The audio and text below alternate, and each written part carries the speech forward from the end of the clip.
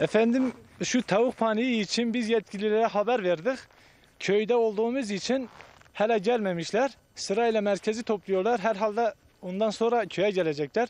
O korkudan biz tavukları besleyemiyoruz. yum- Yumurtalarını alamıyoruz. Çoluk çocuklarımızı yanaştıramıyoruz o korkudan. O, o, o korku düşmüş milletin içine. O yüzden hiç ilgilenmiyoruz tavuklarla.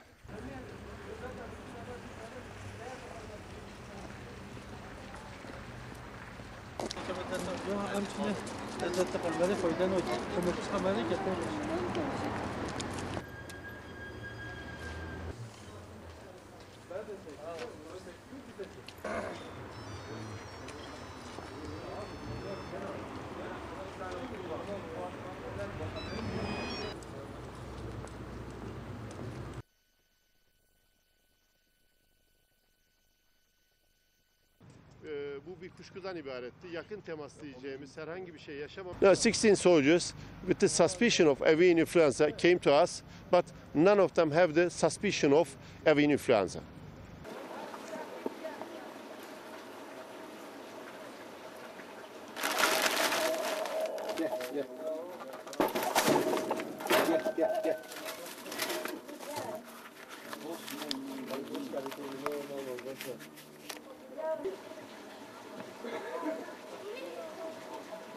İyi değil aslında. İnan ki zehir de almışız. Dünden beri nasıl zehirleyeceğiz? onu Kessek biz ölüyoruz.